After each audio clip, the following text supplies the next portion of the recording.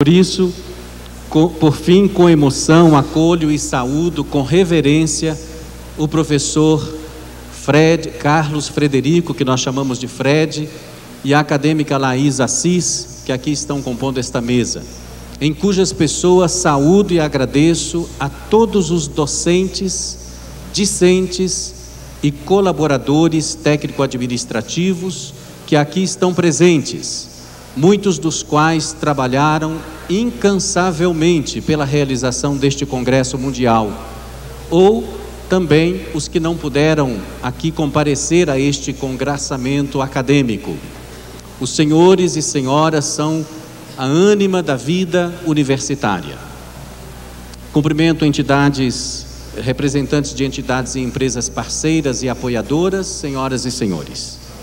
Estamos inaugurando solenemente, na luz do Espírito de Deus, este Congresso Mundial de Universidades Católicas, com a presença de representantes de universidades de cerca de 30 países. Nosso objetivo, depois de muitas vezes e em variados encontros, termos aprofundado a identidade da Universidade Católica nas últimas décadas, é abrir outra frente de aprofundamentos. Que sentidos novos damos à vida, à história e às nossas universidades a partir da nova época já instalada em nossos dias. Não que não queiramos mais debater nossa identidade cristã católica como universidades. O que desejamos sim é usar, revestir a resposta a esta pergunta acerca da nossa identidade de elementos novos, próprios da nova época que estamos vivendo. São elementos inéditos, complexos, frequentemente inusitados e inauditos, que nos desafiam e nos alegram, que nos preocupam, nos movem e também nos modificam. Não podemos deixar de estudar, refletir sobre os novos tempos, novos sentidos, a temática deste congresso, trazendo para o presente e para o futuro a arrebatadora beleza e a originalidade perene do Evangelho de Jesus Cristo, aplicadas à vida acadêmica, universitária, mostrando o quanto ele é atual e forte, pleno e mobilizador, capaz de renovar permanentemente nossa ação educativa e, ao mesmo tempo, capaz de nos colocar na vanguarda de efetivas contribuições para o desenvolvimento das ciências da formação profissional e da edificação de uma sociedade mais justa, fraterna, livre e disciplinada, plural, respeitadas as autonomias e positividades das realidades e dos saberes, admitidas novas compreensões, cosmovisões e novas formas de relacionamento interhumano e com o planeta e o universo uma sociedade comprometida com a vida e francamente aberta à superação de si mesma, à transcendência a Deus. Na igreja, atualmente, temos um sinal especial de renovação que devemos considerar seriamente. Francisco, sua presença, palavra e atuação nos impulsionam neste caminho. Como esta não é uma tarefa simples, convidamos a participar deste Congresso Mundial de Universidades Católicas representantes dos vários segmentos das universidades, não só os seus dirigentes, como comumente acontece. Estando presentes todos os senhores e senhoras, nossa tarefa agora não é buscar o ponto de equilíbrio que atenda a todos em suas diferentes funções na vida acadêmica. Nossa tarefa agora é fazer com que toda esta comunidade acadêmica aqui reunida em congresso se movimente na mesma direção. Por isso, buscamos no mundo pessoas reconhecidas por sua seriedade, seu testemunho, seu conhecimento e compromisso para nos ajudar na tarefa de pensar estes novos tempos e os novos sentidos em nossas universidades católicas, que, como tais, são portadoras da pessoa de Jesus Cristo e sua mensagem no campo da educação superior. Com total confiança no Senhor, serena alegria de acolher a todos na Arquidiocese de Belo Horizonte, na PUC Minas, e a seu inteiro dispor, declaro aberto o Congresso Mundial de Universidades Católicas 2013.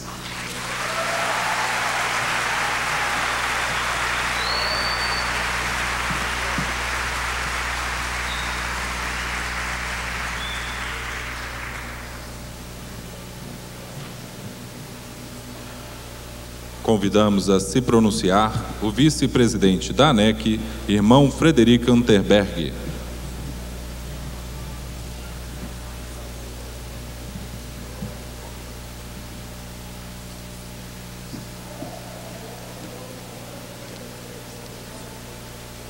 Boa noite a todos.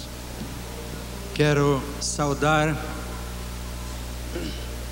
carinhosamente a todos as autoridades da mesa.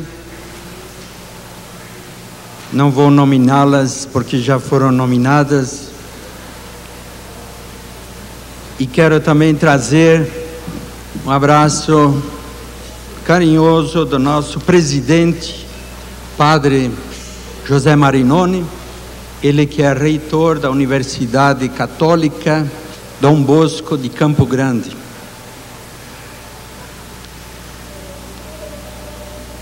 Quem é a ANEC? Eu estou representando a ANEC. É a Associação Nacional de Educação Católica que congrega as instituições de educação católica do, no Brasil, norteada pelos princípios do humanismo, do cristianismo libertador e da ética. Temos como finalidade apresentar a educação católica, no, representar a educação católica no país em seus diversos níveis, em comunhão com a Conferência Nacional dos Bispos do Brasil. Em nossa atuação, valorizamos a educação de excelência, promoção da educação cristã baseada nos ensinamentos da Igreja, para formar sujeitos para a construção de uma sociedade justa, fraterna solidária e pacífica. Promover a pesquisa científica, a extensão social e o desenvolvimento cultural a serviço da vida. Para cumprir esta missão, nos organizamos em três câmaras: do ensino básico, do ensino superior e das mantenedoras. Segundo o censo da Congregação para a Educação Católica no Vaticano, existem no mundo 1.358 universidades e instituições católicas de ensino superior. A grande maioria situada em países de terceiro mundo. No Brasil, são 130 universidades e instituições católicas de ensino superior. Nem todas são associadas à ANEC. As universidades católicas são, antes de tudo, obras da Igreja, criadas e mantidas pela Igreja, destinadas a evangelizar os povos e as nações, promovendo e promulgando a dignidade e a natureza da pessoa humana. Vale a pena recordar que a Igreja Católica tem o direito e a obrigação de educar. Não só transmitir conhecimentos gerais com alto nível de qualidade, mas também ensinar a todos a verdade expressa pela palavra de Deus. A que verdade nos referimos? A verdade primeira que trata de explicitar o mistério de Deus, da criação e da pessoa humana. Tudo o mais deriva dessas permanentes indagações iniciais. Temos inúmeros documentos da Igreja que se referem ao tema. Temos aí gravíssimos educações, et corde ecclesia, fides et ratio e tantos outros. Certamente nós já os lemos.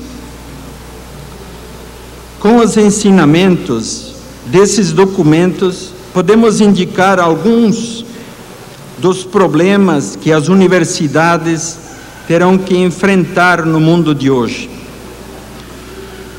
Um mundo em rápidas e sucessivas mutações em todos os setores da atividade humana. Hoje, o mundo que se delineia atordoado, angustiado e sem rumo no meio dos embates com o crime organizado, com o consumo das drogas, com o terrorismo, com a devastação ambiental, com o abastardamento da vida, com a degradação do ideal familiar, com o desconhecimento egoísta das angústias do próximo, com a não existência de trabalho para todos devido à expansão da tecnologia, seduzidos por religiões de ocasião que, com fraca reflexão teológica e máxima esperteza financeira, seduzem as pessoas simples, atemorizadas. Precisa das reflexões esclarecedoras, libertadoras e corajosas das universidades católicas.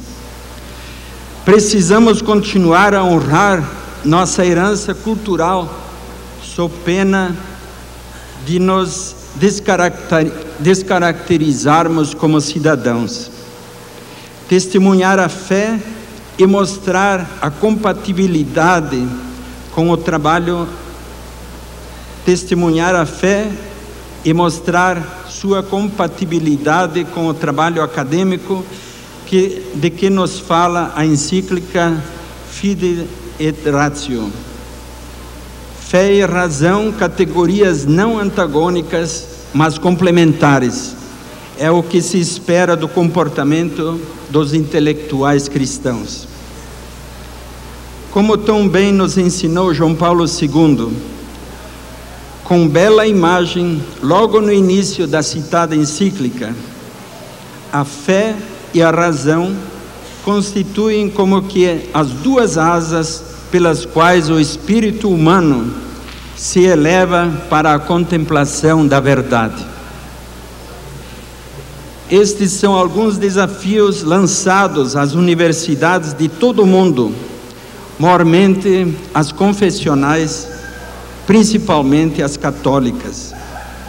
Estão elas prontas, conscientes, capacitadas para responder a essas expectativas da igreja e dos povos?